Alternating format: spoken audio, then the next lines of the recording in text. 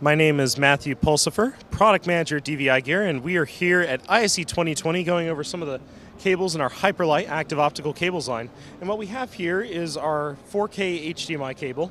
This is capable of extension of 4K 60 signals of up to 100 meters. Um, it is plenum rated and has a 2 millimeter bend radius, which is achieved by using polyfluorinated optical fiber. Um, additionally, however, we have detachable docking connectors that allow you to change the cable to fit your application. So by out of the box, it comes with these HDMI docking connectors. But if you replace uh, the display end with a DVI in, for example, you could go HDMI to DVI. You could also do a DVI cable with this.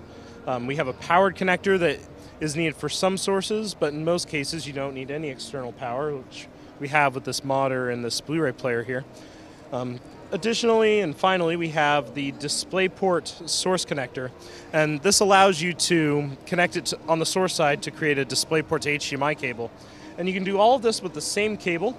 It goes up to 100 meters at 4k 60 if you'd like to learn more about this and other dvi gear products please visit dvigear.com